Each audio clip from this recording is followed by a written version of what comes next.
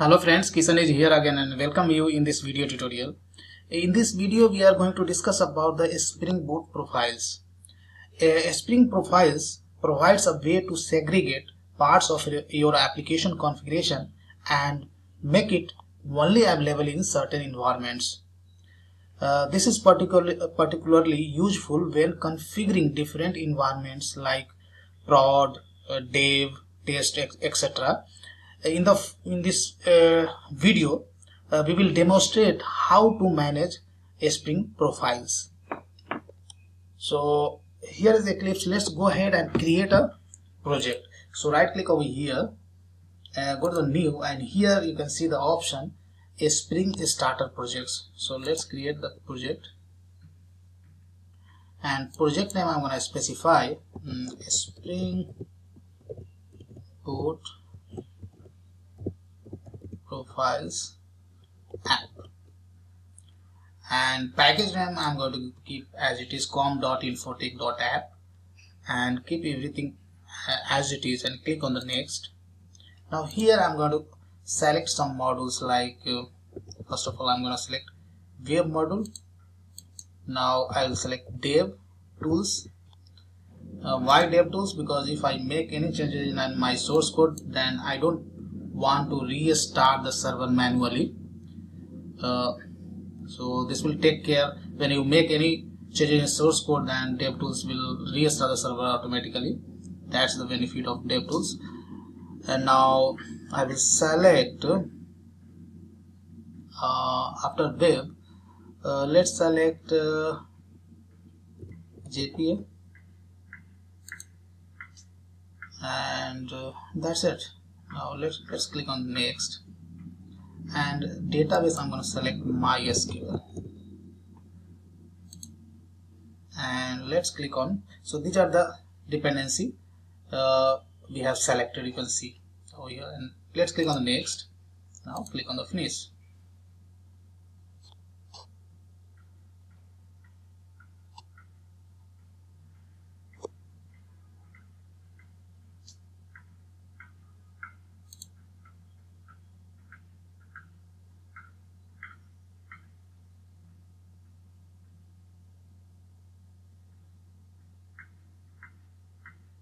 so here you can see project is created and all dependency is downloaded from the central repository uh, remote repository and that is added in maven dependency uh, directory right? Now if I expand this one src main java then you can see uh, spring boot has created a class automatically with the name of the project and uh, that is suffixed by uh, application. And this is this class is annotated as at the rate a spring boot application. So this class is considered as a bootstrap class. So from here your uh, application uh, starts running. So now what i'll do uh, if you, you, go to the resources folder then currently we have a one property file.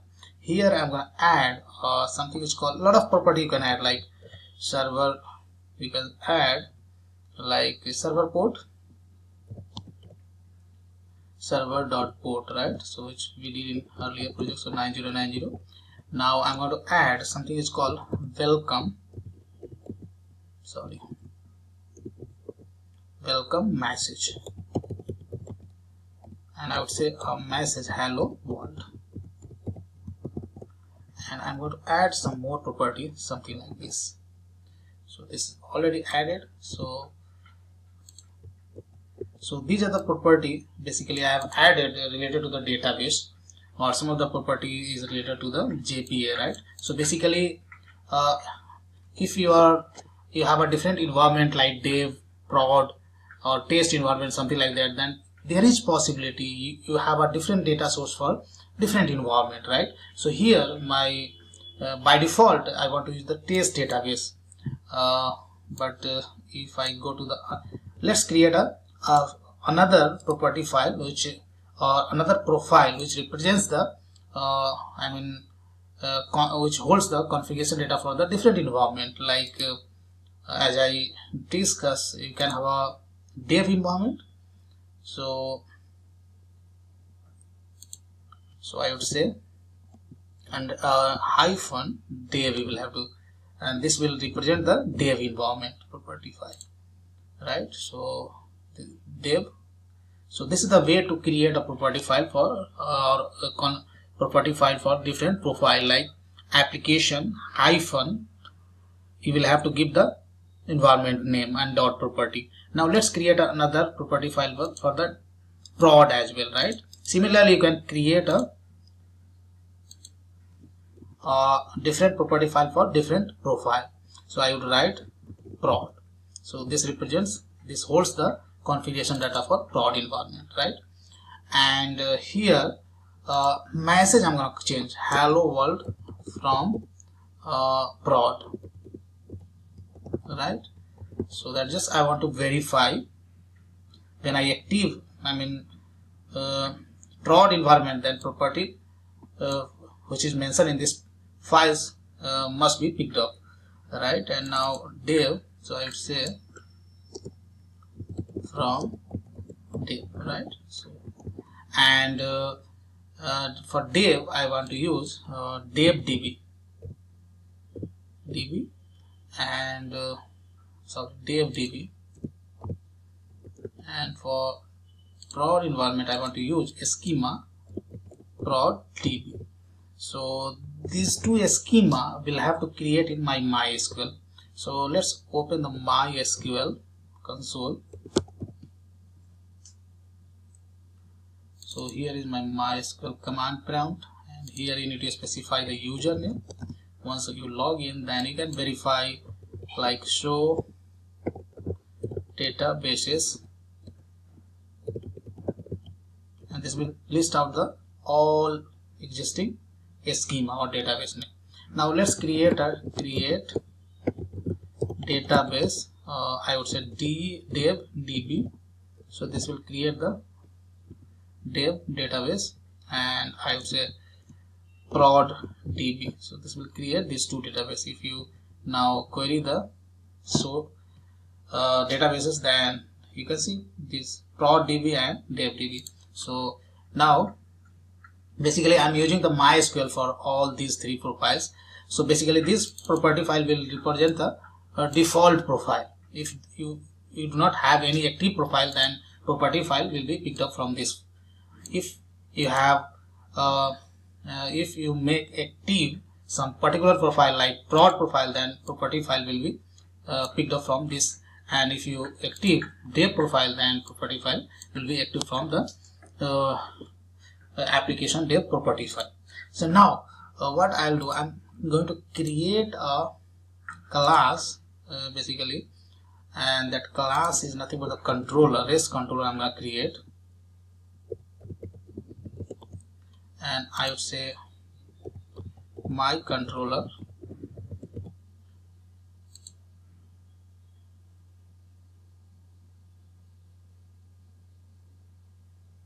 And here I'm going to create a message.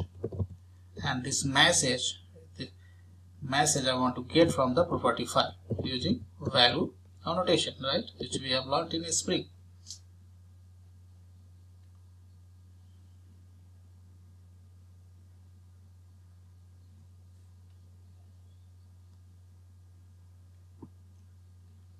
value annotation.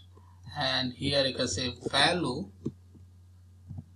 equals to dollar. And here you need to specify the key.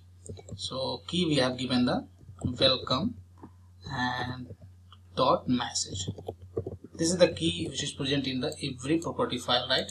This is the key. Just you need to specify. This is present in every property file. Now uh, let's create a one simple API REST API which returns the simple a message right? And this is gonna return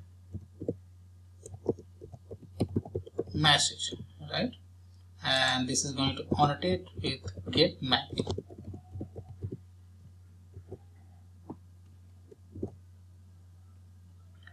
get mapping and let's specify uh, URL pattern slash. So this will basically represent the home page when you query the home URL of this project then this message will be uh, displayed on the browser.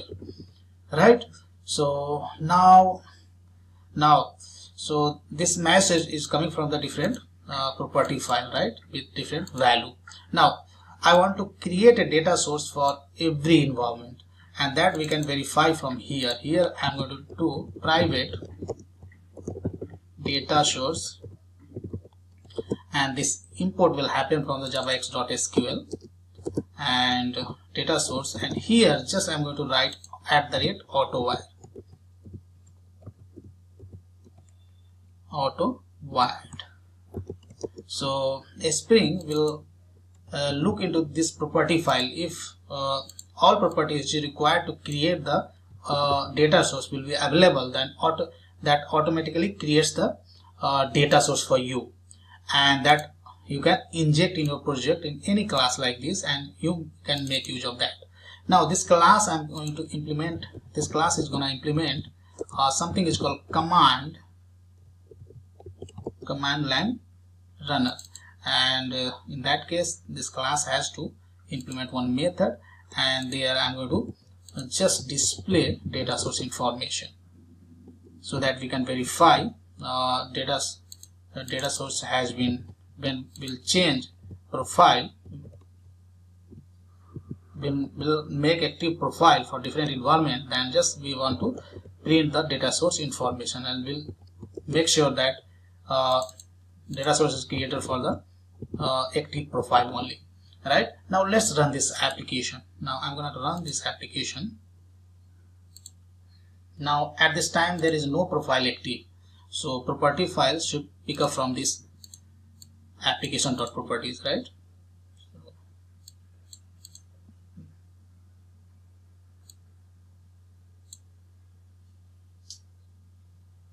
Now here you can see data source information we have printed over here.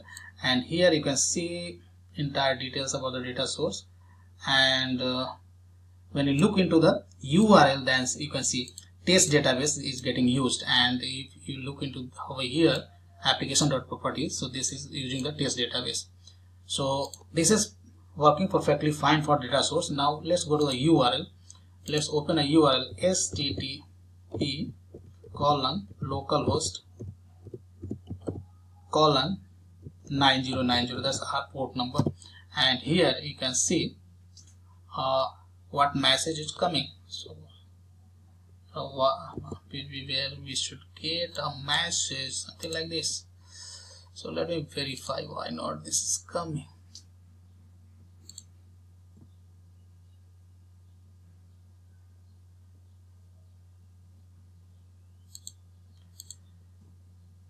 Sorry guys I forgot to annotate this class at, the rate. Uh, rest controller. Rest controller and once you save this class then you can see server is getting restarted automatically because devtools uh, came into action. Now if I go and query this URL then we are getting this response from the default profile. Now let's uh, change the profile.